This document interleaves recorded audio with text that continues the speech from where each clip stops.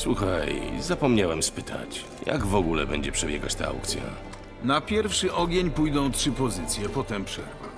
Mam nadzieję, że wtedy właśnie zejdzie Horst Borsodi i was sobie przedstawię. Oby.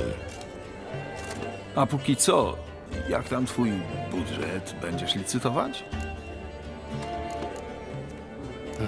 Za zabijanie potworów nie płacą mi aż tak dobrze. Niech bogaci się bawią. Ja sobie poczekam.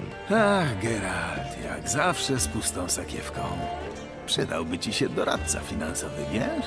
Przydały to by mi się finanse. Nie przejmuj się mną. Zobaczę, czy zostało trochę kawioru. Szanowni Państwo, witam raz jeszcze w naszych progach. Niniejszym rozpoczynam aukcję.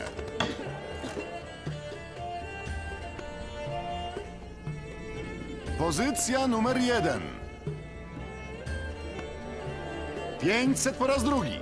Po raz trzeci sprzedane. Czy widzę 300? Kto powie 300? Pan z monoklem daje 300.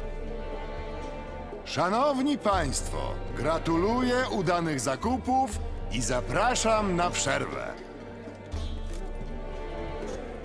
No jak tam, Geralt? Nie nudziłeś się? Oczywiście, że się nudziłem. Jak to zawsze w wyrafinowanym towarzystwie. Ale też niczego innego się nie spodziewałem, więc